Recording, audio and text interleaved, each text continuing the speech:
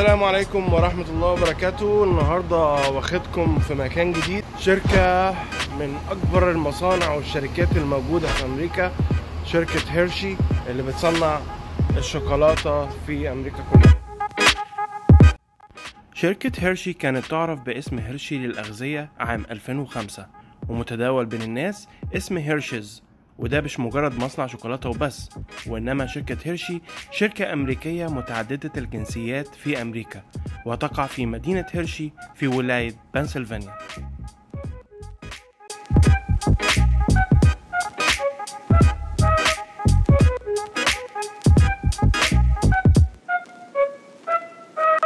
مدينة هيرشي هي مدينة الأطفال المفضلة. كل حاجة بيحبوها هيلاقوها هناك. شوكولاتة وألعاب وتويز وملابس وتيشيرتات.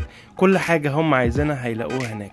الشركة بتعمل جميع أنواع المخبوزات والبسكوت والشوكولاتة وكمان بيعملوا الحليب المخفوق وبودرة الكاكاو المشهورة لشركة هيرشي وكتير من المنتجات العالمية اللي بيعملوها دايما في المصنع ده.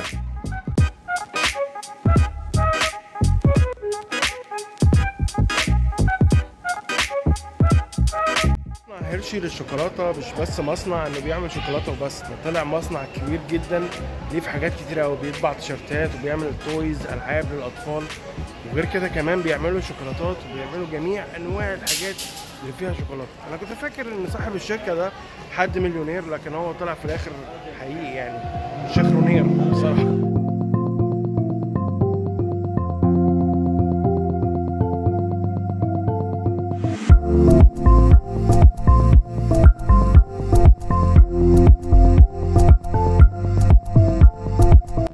تأسست شركة هيرشي عام 1894 ميلاديا. على يد ميلتون هيرشي.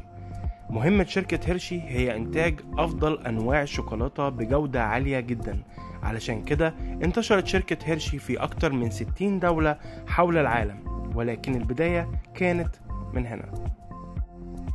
تذكرة الدخول بتشمل دخول المصنع ودخول الشركة وكمان جولة حول المصنع وحول المدينة مدينة الشوكولاتة هيرشي. مصنع هيرشي مش مصنع واحد بس ده كذا مصنع موجودين في نفس المدينة وفي نفس المنطقة في ولاية بنسلفانيا. حيث هناك المنطقة القديمة كان فيها المصنع القديم والمصنع الجديد اللي إحنا شفناه من شوية. وكمان في مدينة ألعاب وملاهي للأطفال وكمان مركز لتحديث تقنيات جودة طعم الشوكولاتة. حيث هناك بعض العلماء والدكاترة اللي شغالين جوه المركز بينتجوا أحسن أنواع الشوكولاتة وبيتذوقوا الشوكولاتة فقط هناك. ده المصنع القديم لشركة هيرشي. وهنا جولة داخل حديقة قصر صاحب شركة هيرشي. هنا مدينة الملاهي اللي موجودة على مساحة شاسعة جدا في مدينة هيرشي جوه ولاية بنسلفانيا. مش بس كده ده عمل مركز للأيتام كمان اللي بيضم فيه جميع الأطفال المشردين في المنطقة. جوه معرض هيرشي بتلاقي جميع أنواع الشوكولاتات الصغير والكبير. مفيش أي مشكلة. أي حاجة عايز تلاقيها هتلاقيها جوه في شركة هيرشي بصراحة أنا اتخضيت فعلا بجد من جميع أحجام الشوكولاتات والأنواع اللي هم بيعملوها في المكان ده.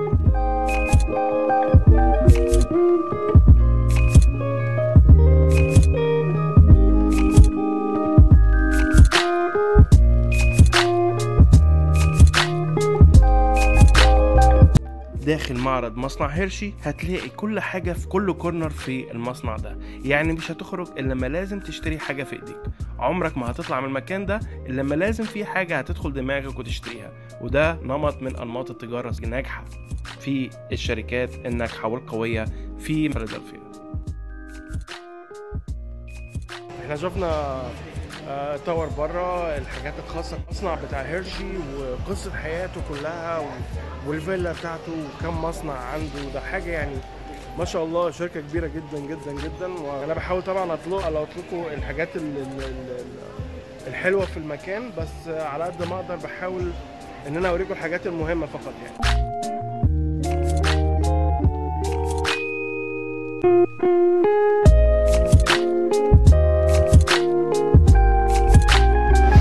ده منظري عشان أنا داخل دلوقتي ال kitchen عشان خاطر هنطبخ شوكولاتة جوه. فقال لك لازم تغطي راسك وتغطي دقنك وتلبس الافرول ده. زي ما أنتم شايفين كده عشان خاطر هنعمل شوكولاتة جوه المصنع. علشان تدخل جوه المعمل وتعمل شوكولاتة الخاصة بيك لازم تكون لابس كده. بيدوك ticket وبيخلوك تكتب اسمك بالكامل علشان خاطر لما تيجي تطلع الشوكولاتة اللي انت عايزها بيكون اسمك مكتوب عليها من بره. السكرين ده بتقدر تختار منه شوكولاتة نوعية الشوكولاتة اللي انت عايزها وعايز كمان تكون محشية بإيه؟ يا وعدي. يعني كل حاجة انت عايزها في الشوكولاتة هتلاقيها موجودة فيها.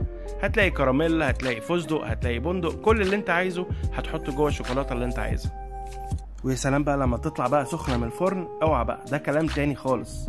هنخش المعمل دلوقتي وإحنا داخلين جوه بيوريك جميع الماكينات الخاصة بتصنيع الشوكولاتة وجميع أنواع الموتورات اللي بتخفق الكريم والحليب مع بعض علشان تطلع لك أحلى أنواع الشوكولاتة الموجودة في المصنع.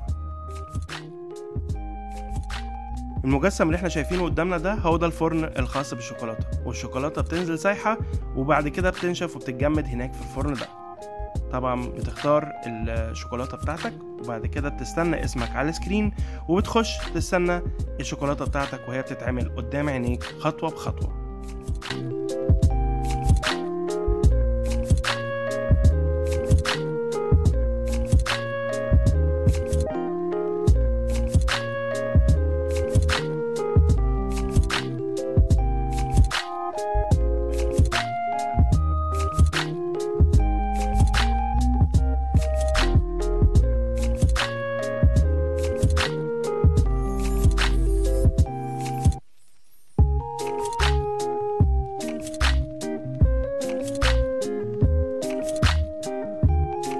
وفي عز ما انت مستني الشوكولاتة بتاعتك تخلص بيديك كمان فرصة انك تعمل design للغلاف الخارجي للشوكولاتة بتاعتك. يعني انت مش مجرد بتاخد شوكولاتة وبس لا انت بتاخد كمان غلاف بتحطه بره الشوكولاتة بتاعتك باسمك وبال design اللي انت عايزه كمان من علامة هيرشي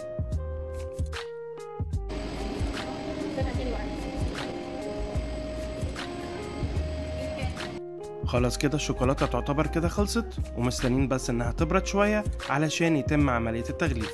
وبعد ما بيغلفوها بيحطوها في علب حديد داخل العلب الكراتين اللي قدامنا دلوقتي في المكنة.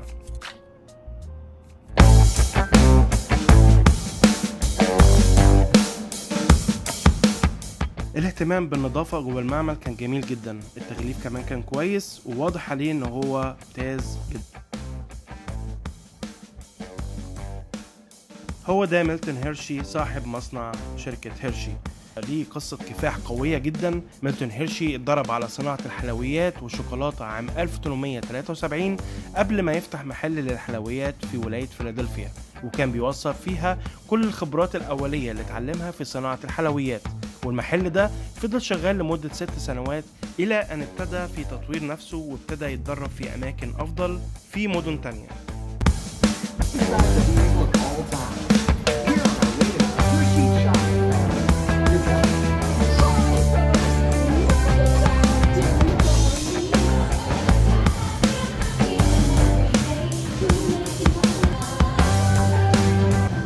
المكان اللي إحنا دخلناه دلوقتي ده بيوصف لك إزاي تركيبة الشوكولاتة بتتعمل من أول ما بتدخل المصنع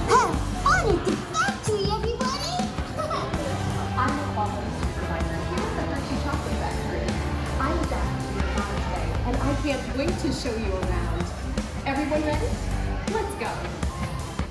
بجد يعني أنت بتقعد جوه عربية والعربية ماشية بيك جوه زي ما أنت شايف ورايا كده العربيات كلها ماشية جوه المصنع بيوريك كل حاجة.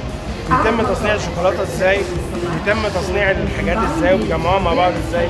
أظن يعني فكرة جميلة وفكرة حلوة جدا لما بيوروا الناس إزاي مصنع زي ده كبير زي كده إن هم بيوروا الزوار إزاي بتتعمل حاجات جواه. يعني دي حاجة كويسة جدا. إحنا مكملين جوه وهنشوف كل حاجة مع بعض. خليكم معايا.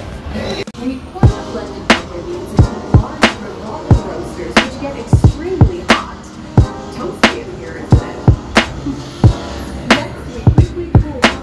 ناس كتير ممكن تسألني تقول لي إيه أهمية حاجة أو مكان زي ده في معرض كبير قوي زي معرض هيرشي للشوكولاتة؟ هقول لك أنا المكان ده قبل ما يكون تجاري هو كمان تعليمي بيعلم الكبار وبيعلم الأطفال إزاي بتتعمل الشوكولاتة من أول لحظة لآخر لحظة A to Z. بيجيب التصنيع بطريقة مصغرة وبطريقة كوميدية بحيث إنها توصل للكبار وللصغار في نفس الوقت. مكونات الحليب ودرجات الحرارة الشوكولاتة وكل حاجة بتتعرض في المعرض ده. حتى ما فاتتهمش الأفران والطواحين وكل حاجة بتخص البسكوت والشوكولاتة.